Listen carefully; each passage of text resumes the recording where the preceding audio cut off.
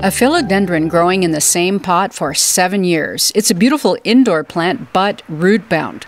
How do you get it out? I tried cutting the edges, kicking it to break the hold, picking it up and dropping it, shake, shake, shake, pounding it. A bigger saw helped, and finally, voila, it was free of the pot and just a mass of roots. I needed knives, forks, saws, and extra help to get this philodendron out of the pot. So I'm cutting off some of the thick roots. There's so many, there's hardly any soil left. I'll add fresh potting soil, soak it, and take it indoors. Not textbook, but better than another year root bound. I'm Kathy Renwald for thespec.com.